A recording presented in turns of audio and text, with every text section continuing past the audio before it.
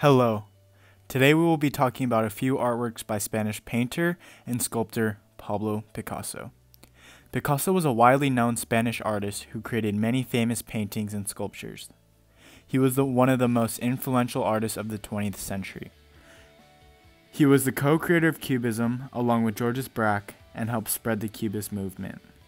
One of Picasso's most famous Cubist artworks is called Les Demoiselles d'Avignon.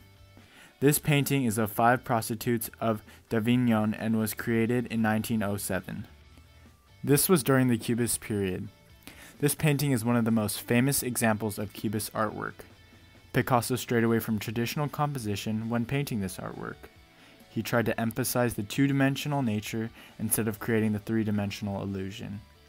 The figures appear to be flat with sharp angular lines adding a realistic look to the woman.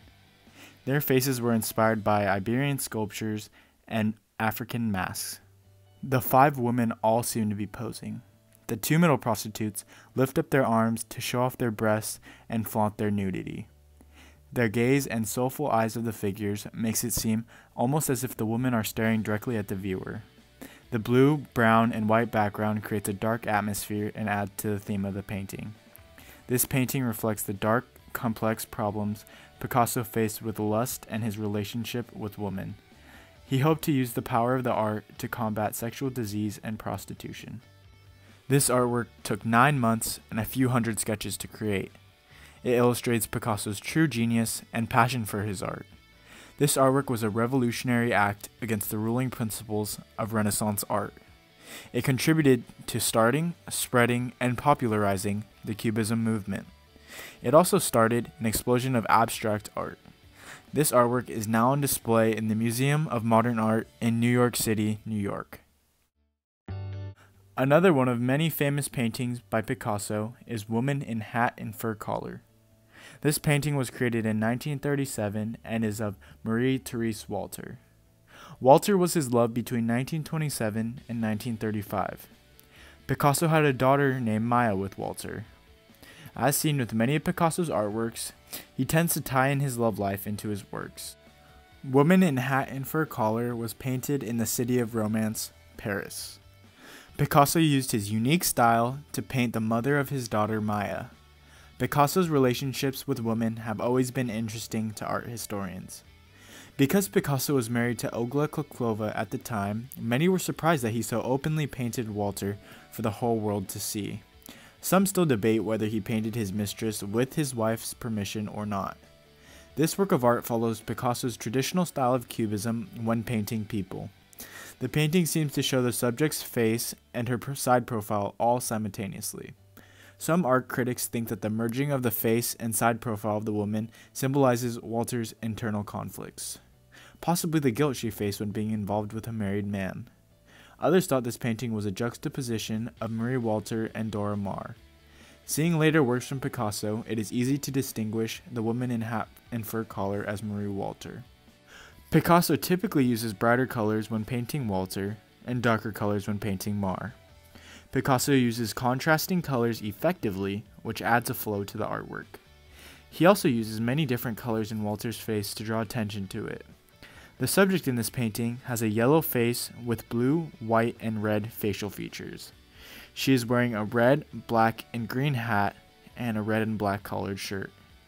The background is a light greenish color on the left side, stopping at her hair. The right side of the background is a light grayish color that starts directly on the right side of the subject. This painting is very interesting because it was painted at an odd time in Picasso's life. At this time, Marie Walter was becoming jealous because Picasso was starting to fall in love with Dora Maar. One day, Walter and Maar had coincidentally met in Picasso's studio. The two ladies demanded that he choose between them. Picasso said that they would have to fight it out themselves. At that moment, Walter and Maar started to wrestle over him. Picasso and Maar would go on to have a relationship that lasted more than a decade. Maar struggled with depression during and after their relationship. This inspired Picasso to paint another famous painting called The Weeping Woman. Picasso painted The Weeping Woman in October of 1937 after one of his many mistresses. Dora Maar was the subject in this work. Picasso said, For me, she's the weeping woman. For years I've painted her in her tortured forms, not through sadism, and not with pleasure either, just obeying a vision that forced itself on me. It was the deep reality, not the superficial one.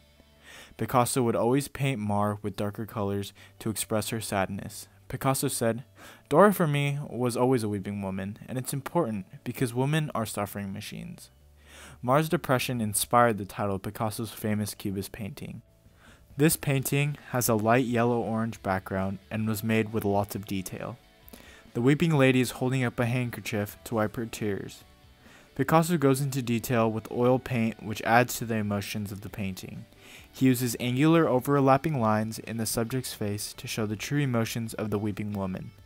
Picasso also uses linear perspective to emphasize the two dimensionality of the painting.